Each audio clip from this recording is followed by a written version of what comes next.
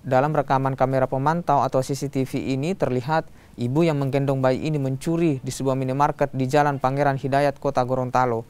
Dalam menjalankan aksinya, pelaku menggunakan modus dengan berpura-pura sebagai pembeli dan juga hendak mengirim uang dengan memberikan nomor tujuan fiktif. Saat pegawai minimarket lengah, pelaku pun melancarkan aksinya dengan mencuri sejumlah barang. Kepala toko saya balik lagi ke sini, bantu saya cari lagi nama transaksi tersebut Datanya dia manfaatkan waktu lagi untuk ambil barang. Apa saja yang diambil itu? Itu berupa personal care, hand body. Dia bukan cuma satu dua pieces, di atas lima pieces itu personal care hand body itu. Terus pembalut tersebut itu pembalut juga harganya yang paling mahal dia. Ada aksesoris juga. Itu, itu ibu itu ke sini sama siapa? Dia naik bentor kalau lihat dari CCTV dia naik bentor. Bawa anak kecil ya? Bawa anak bayi itu yang digendong.